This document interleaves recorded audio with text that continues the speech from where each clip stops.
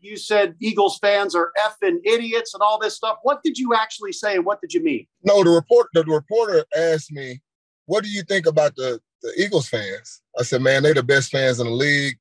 Man, they they they awesome.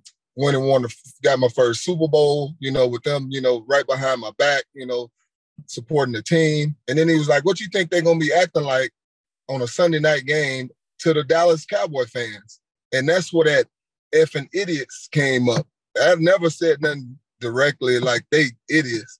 He just flipped it. You know, everybody try to get a story. You know. And so what you're saying is you did not say this in a derogatory term. You like Eagles fans or love Eagles fans. He didn't ever put out that I said the Eagles fans are number one in the league and all the all the good stuff. He just tried to twist it to make it seem like I'm a bad guy. You know, one year, two years removed for the Eagles. Why would I say, you know, something crazy like that?